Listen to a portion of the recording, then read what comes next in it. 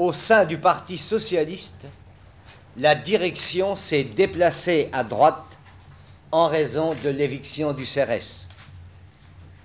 Enfin, le Parti socialiste est apparu au congrès de Pau beaucoup moins préoccupé de combattre la politique de M. Giscard d'Estaing que de se renforcer en affaiblissant notre parti.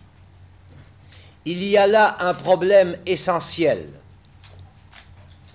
Notre parti a apporté son adhésion au programme commun et développe une stratégie conséquente d'union en faveur de ce programme parce qu'il pense que le contenu de celui-ci est bon pour les travailleurs et le pays.